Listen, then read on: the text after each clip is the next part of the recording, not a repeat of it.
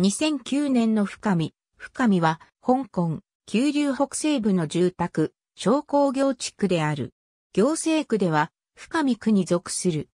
香港九龍半島の北西部に位置する地区で、香港の中で特に所得水準の低い地区であり、北京語を話す中国本土系の住民が比較的多い地区である。1955年、サイトレーチェンイギリストレーニングエステートは、建設労働者はレンガ作りの部屋の墓ことを発見した場合、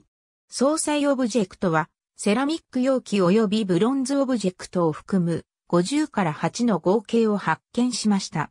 フォームとスタイルの墓の墓は、総裁オブジェクトが五感の時代に建てられているように見える出土。五感母博物館のために、レイチェンイギリスを取っておきました。バスは、本数、系統数ともに多く、地下鉄、湾線の深見駅が最寄り駅である。高登り電脳中心など電気街があり、同じ急流の左官角と、並び香港の秋葉原と呼ばれて久しい。こちらは土日となると店内は、人でびっしりと埋まるくらいの混雑ぶりを呈す。また、服飾関係、おもちゃなどの問屋が多い街としても知られ、香港急流の下町といったところである。一方、急流有数のショッピングモールの一つである西急流中心はここにあり、この最上階には屋内ジェットコースターがある。